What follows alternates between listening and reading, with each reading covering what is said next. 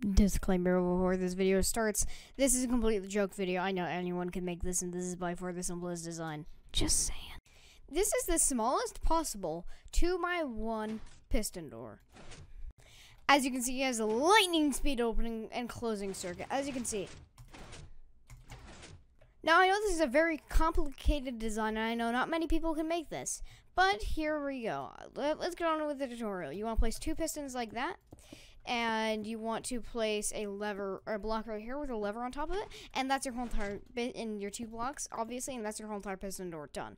Now that was like a three hour long tutorial. I'm so sorry about that, but I know it's gonna get a little bit more complicated when you go on to Bedrock Edition. If you're on Bedrock Edition, you use this simple design, but you move down two blocks, break the block in the middle, place redstone dust, and I know that was like three and a half hours. I'm so sorry. There you go. This is the most difficult possible 2x1 piston door ever made. But the main thing with this is you can place the lever anywhere.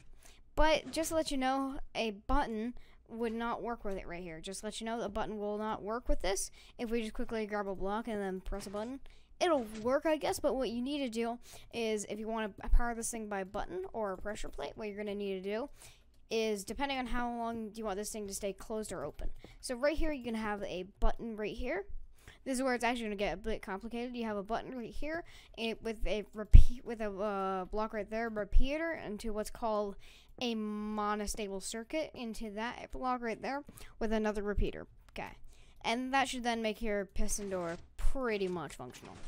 Now, if you're doing this in a pressure plate and you want it to like open up, but when but it closes automatically, what you need to do is something a bit more complicated. You have to go down here, place redstone dust right here, redstone dust right here.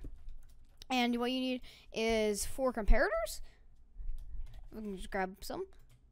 You need to grab four comparators right or two, two or four comparators, depending on how long you want to let it go up. A block right here, redstone dust right there, and to repeater with a block on top of it. Now that is called as a pulse extender, and then you just simply feed that up into your simple block.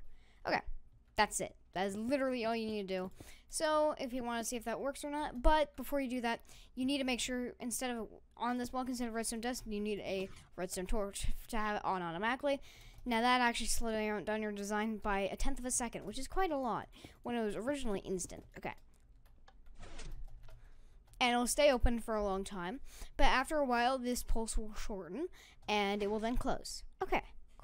And there we are, the most complicated design for a 2x1 piston door. You're welcome. Now, if you guys have enjoyed, please leave a like and just let you know this is, in fact, a joke video. I know anyone who has a, even the slightest understanding of redstone would be able to make this.